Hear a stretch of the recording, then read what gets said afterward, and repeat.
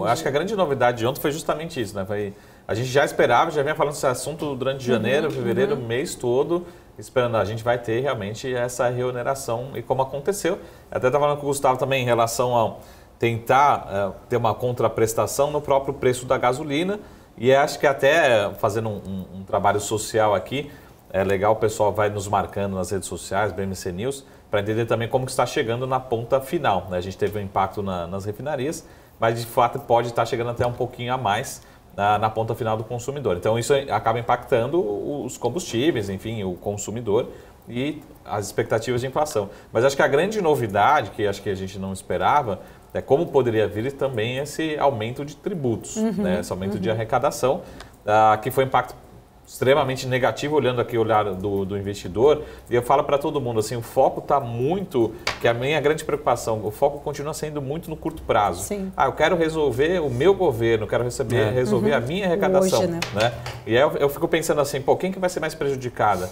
Talvez nem seja a Petrobras, né? Porque ela tem, de certa forma, uma maior diversificação, enfim, mas vamos pegar um exemplo ali, depois na, na, segunda linha, quem que é uma empresa que exporta muito petróleo em termos de receita? É a Shell. A Shell está no Brasil, ela pode produzir é, petróleo em qualquer lugar do qualquer mundo, lugar. ela pode produzir no Golfo, no, ela, ela escolhe onde que ela vai. Então, se ela fala assim, Pô, se tiver um imposto que está reduzindo a minha produtividade, né, que eu estou sendo menos eficiente, uhum. que eu estou lá só para arrecadar tributos, né, ou seja, uma operação deficitária, eu vou acabar saindo desse país. Então, uhum. essa é a minha preocupação. Uhum. A Shell não vai decidir isso em 2022, 2023, agora vai chegar um momento que ela vai falar assim, pô, no Brasil já não é mais rentável eu gerar tributos, não é, gerar, não é melhor eu ficar lá gerando é, petróleo, melhor eu ir para outro lugar. Uhum. Que foi um caso, por exemplo, que a gente, a gente tem centenas de casos, infelizmente, mas um dos mais emblemáticos recentemente é a própria Ford. Né? A Ford toma a uhum. decisão de sair do Brasil porque fala assim, pô, não faz sentido, é um mercado gigante, eu poderia estar fazendo milhões de empregos, milhões de receita,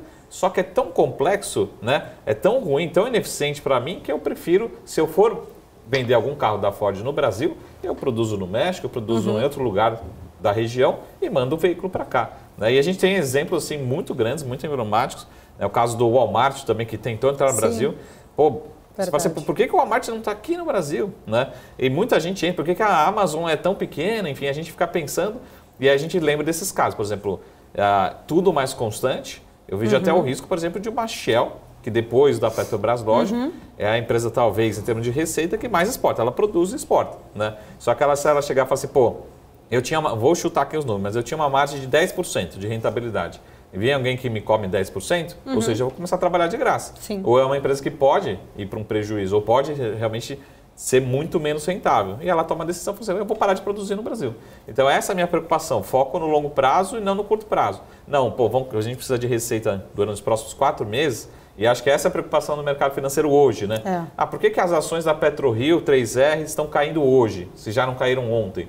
Porque acho que ninguém está acreditando que vai ser quatro meses. Exato, acho, acho que, que, esse essa, é um ponto importante. Essa é a discussão.